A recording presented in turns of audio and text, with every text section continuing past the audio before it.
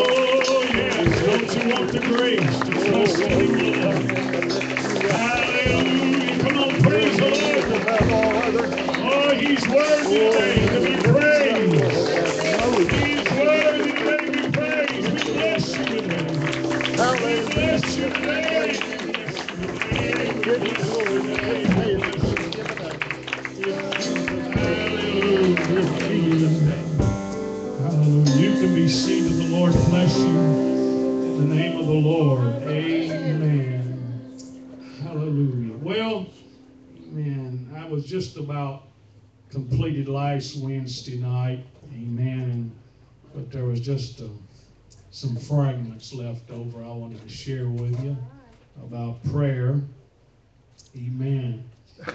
And um, there are what they would call connective tissues that bind our physical bodies together to keep them strong. And there are some connectives to prayer that will make it strong and more effective.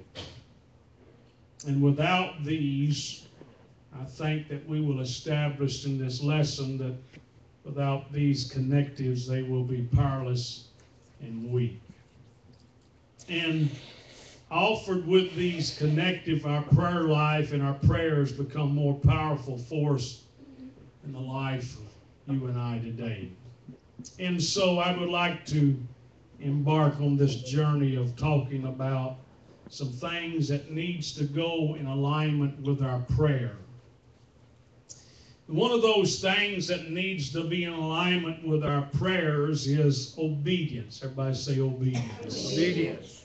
And I guess one of the most renowned verses that uh, speaks concerning obedience is there when Saul, as you well know, came back from the battle, and the Lord had instructed Saul through the prophet to uh, slay all the Amalekites and Agag and all of these. And so uh, we would find that they um, uh, refused. Now, I'm sure there's different schools of thoughts on uh, all the particular details, but one thing Saul replied was that the people, the people influenced him.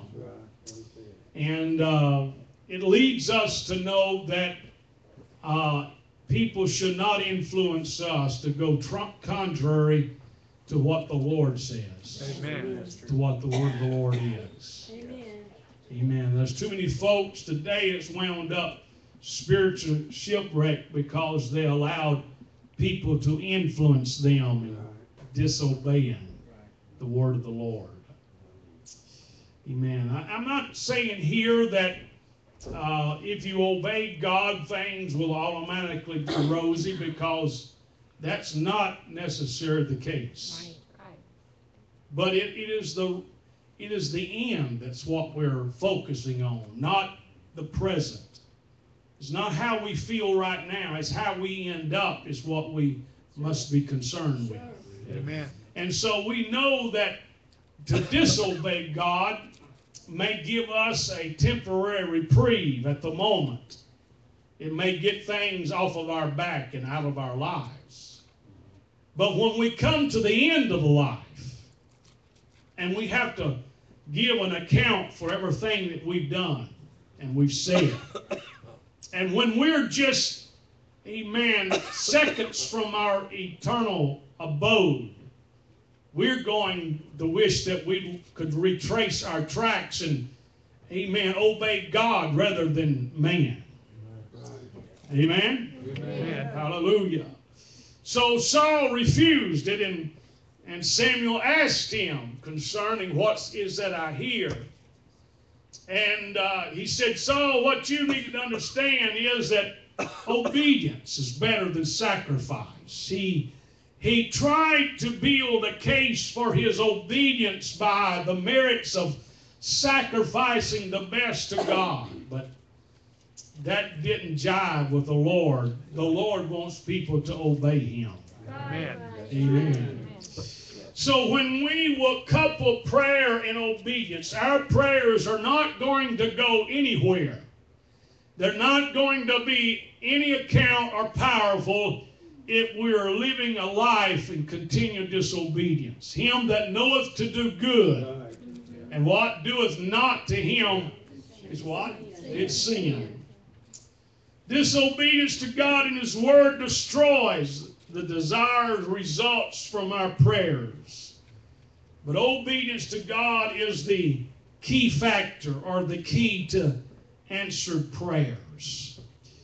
There's a couple of things I'd like to bring out concerning prayer and obedience is out of the book of Acts, chapters 9 and chapters 10 we will find that in chapter 9 is the conversion of, of, of the man named Saul, Saul of Tarsus. Later on to be known Paul, the probably the greatest and the powerfulest of all the apostles and greater, and, and definitely the greater writer that contributed more to the New Testament writing than anyone else. We find that the Lord said to Ananias in the 11th verse, a preacher there in the city of Damascus, he said, I want you to arise. And why we flow through this particular story, I want you to notice that there are two men, Saul and Ananias. In both of these men, you can find them connected to prayer and to obedience, that they both are uh, interweaving in this story that these both of these men they pray and they are obedient. And so he said to Ananias, Arise and go into the streets that's called Straight and inquire in the house of Judas for one called Saul of Tarsus. For behold, he prayeth. Everybody say he prayeth. He prayeth. Now he's praying. He's been struck down, as you well know. He's blind. They had to physically lead him into the city. And there he's in this house and he's he's in darkness. He is blind. And we find that the Lord tells Ananias that and has seen in a vision a man named Ananias. He's seen you coming in, putting his hands on him that he might receive his sight. Ananias answered, Lord, I've heard by many of this man how much evil he hath done to the, thy saints at Jerusalem. And here he hath authority from the chief priest to bind all that call on thy name. But the Lord said unto him, Go thy way, for he is a chosen vessel unto me to bear my name before the Gentiles and kings and the children of Israel. Amen. For I will shew him how great things he must suffer for my name's sake. And now, Ananias, he's become obedient. Saul's praying, but Ananias is becoming obedient. He went his way and entered to the house, putting his hands on him and said, Brother Saul, the Lord, even Jesus, that appeared unto thee in the way as thou camest, hath sent me that thou mayest receive thy sight and be filled with the Holy Ghost. And immediately there fell from his eyes as it had been scales, and he received sight forthwith, and arose and was baptized. So Saul's praying. But now, after this preacher comes to him, and he sees and understands that God has allowed this vision to come to pass, that Saul becomes obedient and he is now being baptized. Amen. The greatest combination that you can have in your life is one of obedience and prayers. Praying to God, seeking God, and being obedient to Him. Both of these men were obedient to the voice of God. And therefore, we will find that this is the beginning of the Apostle Paul's life. Amen. As one of that were in the way. And Jesus, amen, has uh, showed him what he's going to have to encounter as a apostle or as a believer. But yet we find that he's, a man one of the most renowned, amen, men that is described in the New Testament book of Acts. His name is dominant, amen, from about chapter 9 here and 10 all the way to the end. Prior to that, Peter's kind of the forefront man, but now because of prayer and obedience, we would find here that Saul has been converted now. He go by the name Paul and there's something special. Oh God, help us to be willing to obey the voice and the Spirit of God, the Word of God. Amen. Hallelujah. You and I understood that if we were going to get anything from God, we had to come in obedience. And if that's the way we got started, tell me, tell me how can we alter that line of thinking? If obedience is how we got started, I'm sure obedience is how we must continue today. Amen. Hallelujah.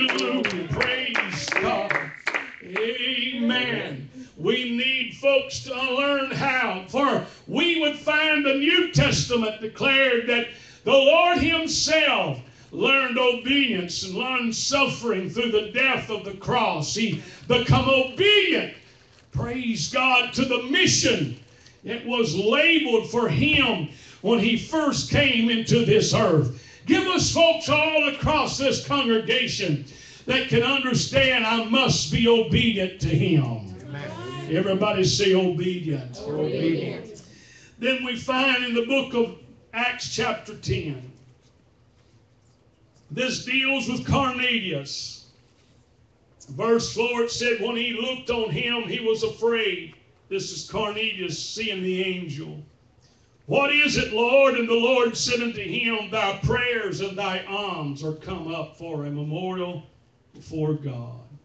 Now send men to Joppa and call for one Simon, whose surname is Peter.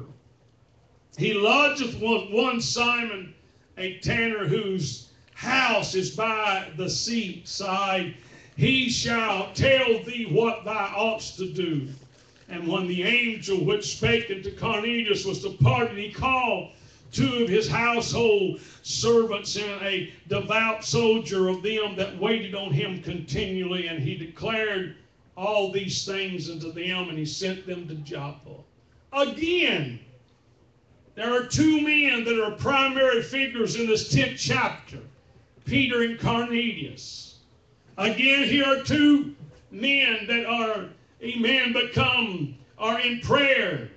It was already stated that Cornelius was a man of prayer, and his prayers became as a moral. But when you find that Peter goes to the housetop, he goes up to pray. And there on that housetop, he sees an uh, vision. And it's a vision that troubles him. And at the beginning, he refused to obey the voice, but after a while, he recanted. Here we find that Cornelius gets a visitation from an angel. And here the angel said, Go and bring Peter to your house. And, and there we would now find that uh, Cornelius is obedient to that heavenly vision. And he goes and he sends men to bring Peter back to his house. And we understand that it was, amen, all finally settled and done. And you know what? His house, him and his whole household, amen, received the gospel, received the Holy Ghost. It Amen. fell on them while Peter was preaching. Why?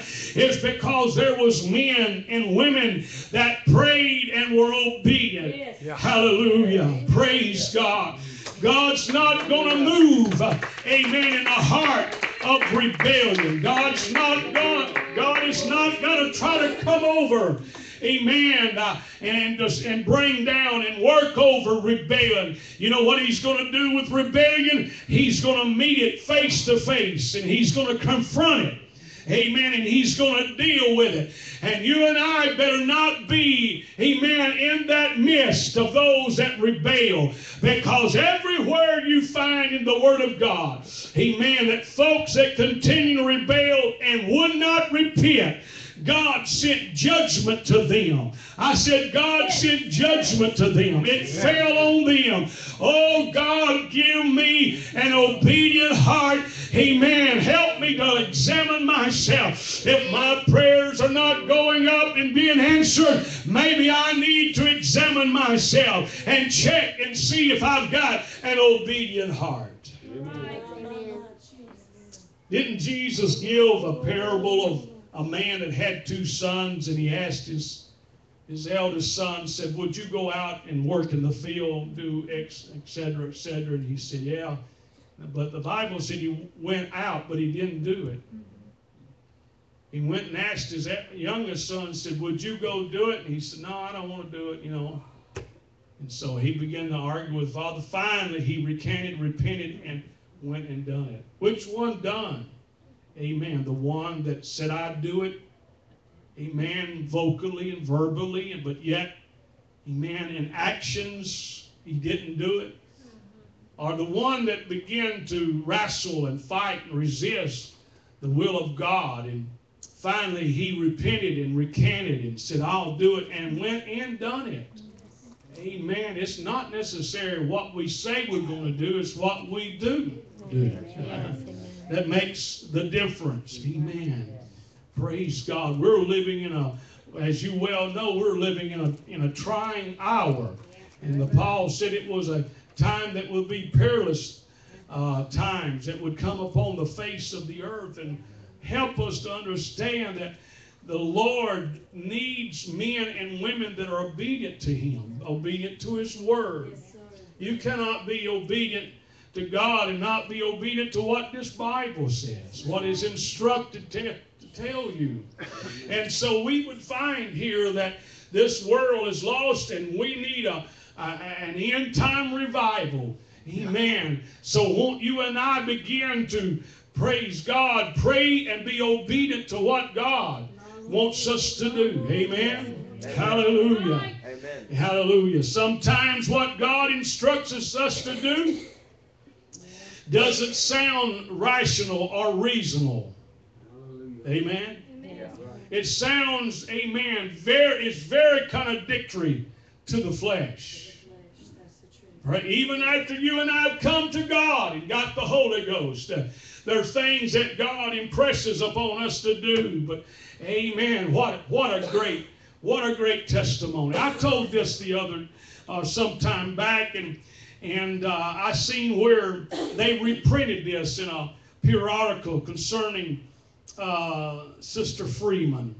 Years ago, prior to them going to Africa on their missionary endeavors, that as she was standing in the house uh, washing dishes at this particular time, the Lord impressed upon her to go and stand in the front porch. They lived right beside a main artery going into the little town that they pastored in. And she wrestled and argued, Lord, it's 10 o'clock in the morning. I've got dishes to wash. I've got dinner to cook. I've got. She just began to, just like the Lord didn't know what she had to do. That's the way we do it. Amen. We instruct God. We inform Him just like He don't know. He's blinded. The one that declared the end from the beginning, we've got to tell Him. So she said, it, it, it's not, it's, Lord, amen. Not only do I have a lot to do, but, you know, what's the neighbors going to say? Housewife standing on the front porch doing nothing. And so finally she repented and went out and stood and she looked around and she didn't, all of a sudden she heard this car coming in. She saw the man, she knew him just kind of by occasion, you know, and knew his name, but that's about all. And she just waved at him, smiled and waved. Mm-hmm. She waved and smiled at him the whole, the longest that she could see. She smiled away and went back. And she thought, now that's really foolish. That was really dumb.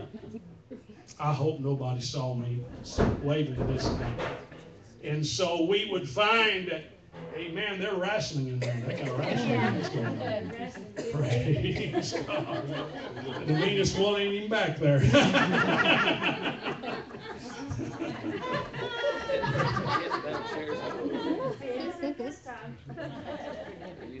Praise God. And so uh, she went back and finished out the day. Several years passed by. She was on furlough. She was back in that little town and uh, had preached that morning and done her uh, deputation work. And uh, so here come this man. She knew him. If I remember the name is correct, it was O.C. Taylor. And she saw him coming, said tears of just, she said, or he said, Sister Freeman, he's several years while y'all was here in Rose Pine, Pastor. Do you remember you standing out on the front porch and I drove by and I you waved at me and you just smiled and waved and waved and waved. She said, Yeah, I, I remember that. I do remember that. He said, What you don't understand, said I had lost my job and In fact, I'd lost several jobs and it just, things were bad. And, and uh, I was driving towards what they call a gravel pit where they dug gravel up out of the ground and said on the side of that seat that you couldn't see was a pistol. And I was so depressed and despondent that I was going to end my life because I, it just seemed like I couldn't get a job and lost my last one. But when you stood out, I drove up, and when I was getting in, and you was getting in my vision, I could see you standing there, and you began to wave, and I thought, here's that Pentecostal preacher's wife waving. She said, he said, it looked like you cared. And said, instead of going down to the pit, ending my life, I went and seen a man about a job and got hired on. And said, not only that, I've got the Holy Ghost since you've been gone. Amen. Because somebody, somebody was obedient to the Spirit of the Lord, the prompting of God. What she was doing? She didn't understand, but she was reaching for a soul. She was reaching for somebody that she just knew on an occasion. And never dreamed at that moment that when she was obedient to God, amen, re- regardless of how ridiculous it looked like, that man was in the throes of hell and just moments probably from going to hell, but somebody obeyed God. Hallelujah. What it looked like to that man, what it looked like to Nona Freeman was foolishness. But what it looked like to that man that was despondent, somebody cared. Amen. God got man. Oh, I want to tell you, thank God. He can cause our past to cross with somebody and we can be a witness to them. I said we can be a light to them. Hallelujah. It may not look like it to us. Amen. But what we think don't really matter. It's what God thinks. And the end results is what matters. It's the saving of a soul. It's the rescue. It's as Jude said, pluck the brand from a burning. Hallelujah. Hallelujah. It's snatching them out of the snare of the fowler. Because there's a lot of folks that's dying and going to hell. Amen. Oh, amen, the part of that mechanism uh, that is uh, that will save them, that will bring them to Christ. Amen. Then we find another connective is the prayer and the armor of God. The effectiveness of the armor is obtained through prayer. An inseparable bond exists between prayer and the armor of God. Ephesians 6 10, 18. Finally, my brethren, be strong in the Lord and in the power of his might. Put on the whole armor of God that ye may be able to stand against the wiles of the devil. For we wrestle not against flesh and blood, but against principalities and against powers, against rulers of darkness of this world, and against spiritual wickedness in high places. Wherefore, take unto you the whole armor of God, that ye may be able to withstand in the evil day, having done all to stand.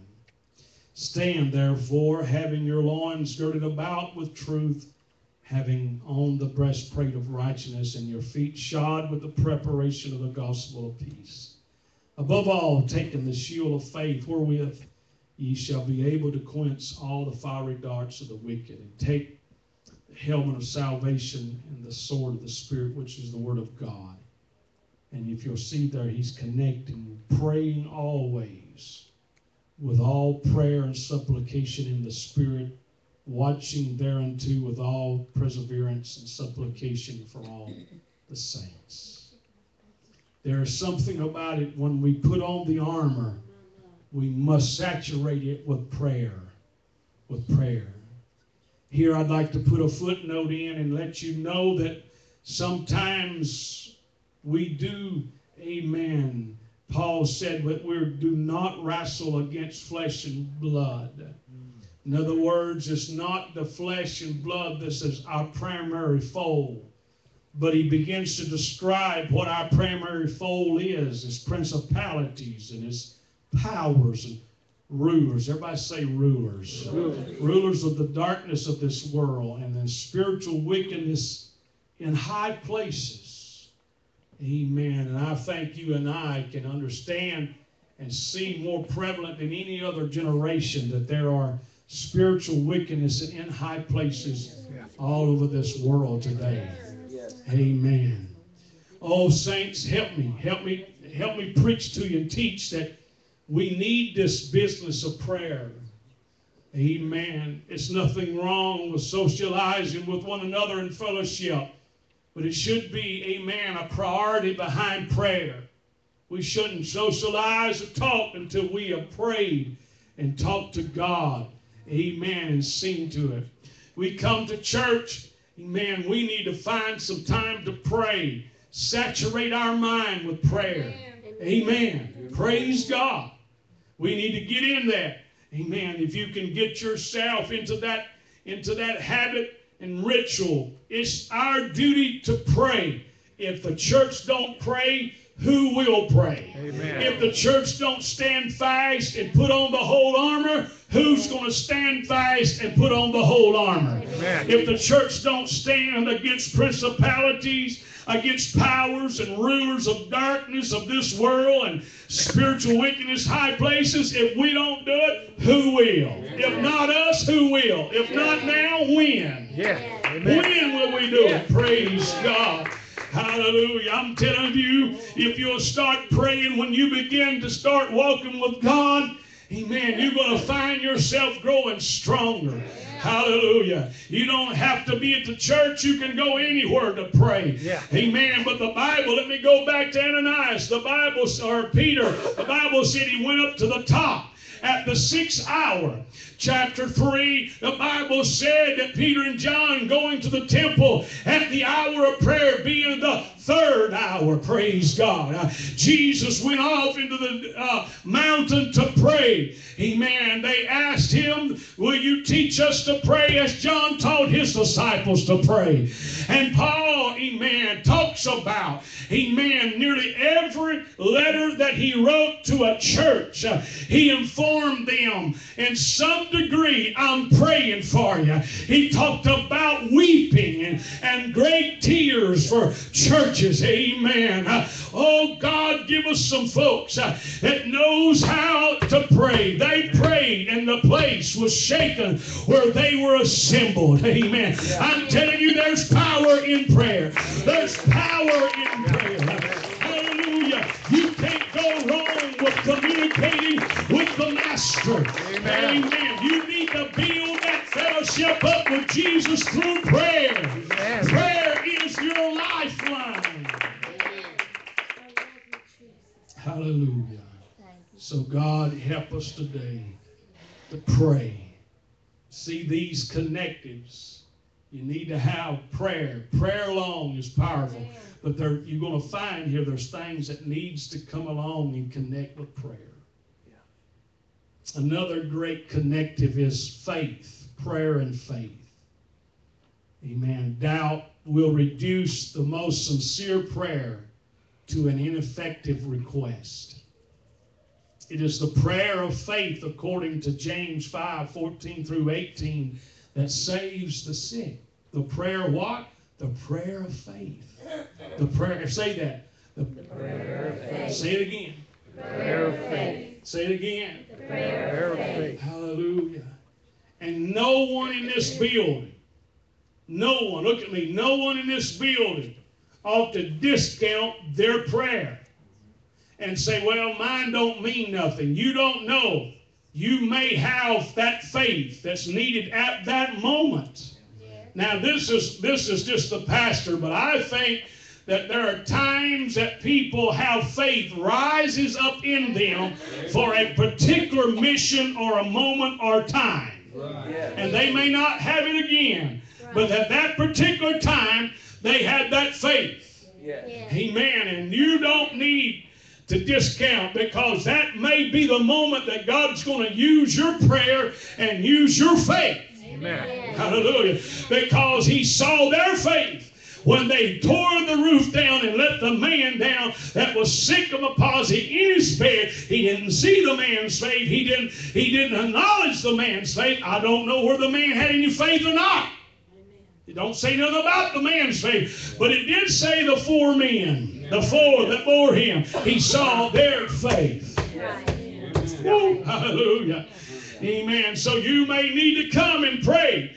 Amen. Hallelujah. Pray for that one at that time. Folks, prayer is powerful as it's coupled with faith. This is how Jesus described it. In Matthew 21, Jesus answered and said unto them, Verily I say unto you, if ye have faith and doubt not, ye shall not only do to this which is done to the fig tree, but also if ye will say unto this mountain. And did you get did you get what happened here? He had just cursed the fig tree. And now they're standing at this fig tree, but 24 hours prior, he come back and he said, it had leaves but no figs. It was just a show. No fruit. He cursed it. 24 hours, now they're standing back at the tree. It's dead. It's dead. Things in the plant kingdom don't die that quick, but it died. It died right then because God placed judgment on it. Yeah. Now, but notice here, he says, now, if you have faith and doubt not, not only you can do this, which is done to the fig tree, but ye shall say unto this mountain, Be thou removed and cast into the sea, and it shall be done. He went from a fig tree to a mountain. He went from a fig tree to a mountain. But it all had to do with faith. Amen. Faith. Father said, Lord, I believe, but help my unbelief. Amen. So faith is something that you and I need to couple with our prayers. We need that. And another connected, I think, is very powerful, and that is simply persistence. We need folks that are persistent in praying. So often we pray briefly and without persistence, manifesting to God the unimportance of the request. But continuing asking is important and biblical because in 11 of Luke 5 and 8 through 10, he said unto them, Which of you have a friend shall go unto him at midnight and say unto him, Friend, lend me three loaves. Verse 8, I say unto you, though he will not rise and give him because he is his friend, yet because of his importunity he will arise and give him as many as he needeth. Verse 9, I say unto you, ask and it shall be given. Seek and ye shall find. Knock and it shall be open unto you. For every one that asked, asketh, receiveth, and he that seeketh findeth, and to him that knocketh it shall be opened. So we find here that he was persistent. He was not embarrassed to keep praying. God help us today to understand that, that the Lord, that rather this, this kingdom needs men and women that is persistent in their prayer. And I know there's folks here tonight under the sound of my voice has been praying, no doubt, no doubt. You haven't said anything, but I just know human nature. I know people that you've been praying a while for something. But I've only come to stand here before you to let you know that you don't need to quit and you don't need to be weakened, but you need to keep praying. Amen. Hallelujah. Can we clap our hands this afternoon? Give God some praise. Come on, let's give him some praise.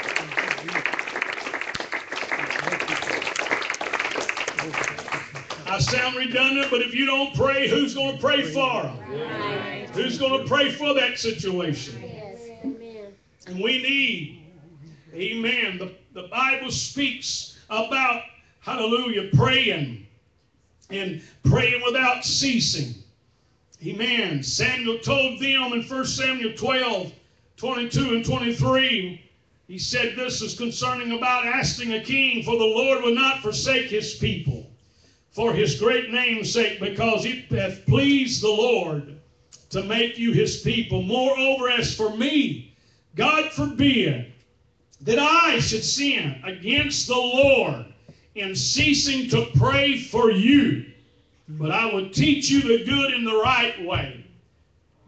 Could it be a connection if we fail to pray and fail to be persistent that we could be sinning against the Lord? God forbid, Samuel said, I should sin against him in ceasing to pray for you. Amen. Romans 1 9. Paul said, For God is my witness, whom I serve with my spirit in the gospel of his Son, that without ceasing I make mention of you always in my prayers. 1 Thessalonians 5 17, it just simply says, Pray without ceasing. Oh God. Amen. Somebody says, well, How can that be done? Just march on and pray. Keep on praying. Paul said, I, I will not cease to make mention of you always in prayers. As I mentioned before, he was constantly, amen, letting them know. I don't think he was bragging on himself. I was thinking he was trying to encourage them. Yeah. Somebody's got your back. Somebody's got your back. I'm Yeah. praying for you. I'm praying for you. Somebody's got your back. Amen. I'm calling you. I'm calling you. Pray. Hallelujah. Because a lot of these saints and in these letters that he wrote to, many of them were are fading such a pagan, rich society. Uh-huh. That's right. Amen. Amen. Not that, that it's not that they knew anything about God. They were way away from God. Much less this Jesus who they was talking about. Just read there in the book of, of Acts where Paul was at Mars Hill, and you know he, he said, I perceive that you are much uh, superstitious and, uh, and you've got an inscription to an unknown God. That's the guy I want to talk to you about. Yeah. That's the one I want to talk to you about. That's the one I want to preach to you about. Amen. Him I know. You may not know him. You, he may be unknown to you, but I know him because his spirit is in me. Praise God. Hallelujah. Come on, help us. You need to get this. We need to be praying. And we need to pray without ceasing. Hallelujah. Amen. We need prayer repetitively. And this is not to be mistaken with vain repetition. Vain repetition is saying the same things over and over and insincerely for the sake of making long prayers. But you'll find Jesus prayed three times one night and said the same things according to the written word. Elijah prayed seven times in succession for rain. So asking repeatedly for something isn't wrong if we are sincere. It is the will of God and not unscriptural. So don't let that guilt trip play on you anymore. You get that off of you right now. And don't you let flesh or the or guilt or the whatever, whoever, amen. You just tell them I'm scriptural, I've been praying, and I'll continue to pray. Amen. Hallelujah. I'm not going to quit. We need to be persistent. There's a word that describes how uh, Elijah prayed. James records it as he prayed earnestly. Earnestly. There's a lot of different ways that you could describe the word earnestly, but I'd like I like the word also sincerely. He was earnest. He was earnest. He was, I mean, he was taken in by it. Praise God. You ever seen small children at at the toy store, the toy aisle? Man, they just, boy, they were just really there. They're glued in on it. They, Sure are. Amen. They just, oh we could get to the bigger, bigger boys and go to the sports good and the bass boats, you know, and four wheel drives, and man, they just glued to it. Man, they're earnestly, amen, into it. James or James said Elijah prayed earnestly. You know, you need to understand that when you read about Elijah praying for that rain, you know, it just it wasn't long, it wasn't deep, but it was earnest and and um, uh, We don't know how long he prayed in between the times that the prophet sent the servant up there. Praise God. But he kept praying earnestly. And James would again say, uses the word, the effectual, fervent prayer of a righteous man availeth much. The word effectual is from a Greek word meaning to be active, efficient, or mighty in. The word fervent comes from a Greek word meaning heat, zeal. It's fiery. Now, sometimes you're not going to be fiery in prayer, but sometimes you're going to have to be fired. You're going to have to be effectual, active, mighty in it. You're going to have to get into it. This is where I'm trying to get you to go to another level with these three nights, uh, three Wednesday nights of turning to prayer. You, you, sometimes you have got to turn, put the foot on the metal, so to speak. We, we wonder why God ain't answering our prayers. It may be that we're not deeply engaged. We're going through motions. We're not, eh, amen, spiritually and emotionally connected with Him. Amen. Amen. Praise God. Somehow if we could get get get get disconnected with the world. Right. Amen. Amen. In the electrical world, they have a disconnect. I was talking to someone the other day, and might have been today, and they was telling me about a building, and, and, and it's a it's a code that now that you have to have a disconnect on commercial properties right beside where the meter base is at. When there's it happened to be a fire, uh, the fireman can go immediately turn that off. Amen. And cut all the fire off in the building. From that point, there's too many folks got a disconnect, and the devil has turned it off. Yeah. There's nothing inside. There ain't no juice flowing inside. Oh, God, help us today. Amen. You know what we need? We need to turn that thing back on in our prayer life. Yeah. You can pray. You can pray. And you can be a prayer warrior. You can pray in the Holy Ghost. Hallelujah. Hallelujah. Now, this is one that we all enjoy. We, we, we just jumping at the bits to do this. This is where we like, this is what we like. We, this is what we want to connect with prayer, and that is fasting. See there, I, I knew every one of you jumped to your feet. We understand what Jesus said in Mark 9. Amen. About, amen, this only comes by prayer and fasting. They asked him, Why couldn't we cast the devil out? This come forth by nothing but prayer and fasting.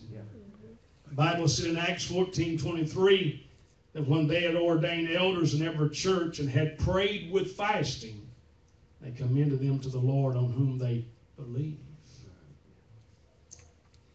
Now, ladies and gentlemen, you're just going to have to shove the plate aside. You're going to have to shove th- some things aside. You don't, and I'm going to tell you, you just keep putting it off and you keep putting it off, and next thing you know, you're going to realize there's been weeks, months, maybe years since you've ever sacrificed for the Lord. Well, Pastor, I'm going to tell you something. The fasting business is, is like a lot of other things. You have to sometimes work into it. Heavy coffee drinkers sometimes have to start just letting the coffee go prior to getting fasting because without food and caffeine, bam, man, you're you're out of sight. Sometimes you just got to start fasting the breakfast. In a few days, fast breakfast and lunch. Then a few days, week, all three meals. Mm, There's too many folks that goes into this fast business, and that, I mean, they, you know, fad diet, just crash diets. You don't need to do that. If you if you will fast one day a week, that's 52 days in a year. That is over a month of fasting in one year.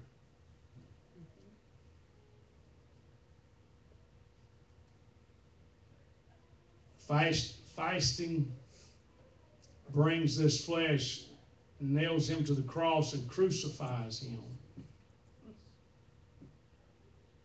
And no flesh wants to be crucified. Even the flesh of Jesus Christ didn't want it. Last but not least, we connect prayer with forgiveness. An unforgiving spirit actually hinders and stops our prayers. Forgiveness must come from our heart while we pray. Jesus said in Mark 11 25, When ye stand, pray and forgive if ye have aught against any, that your Father also which is in heaven may forgive you your trespasses.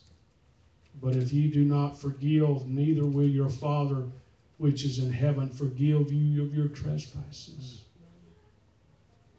I'm sorry, this is what the book says. You will not have your prayers answered if you harbor ill feelings, unforgiveness.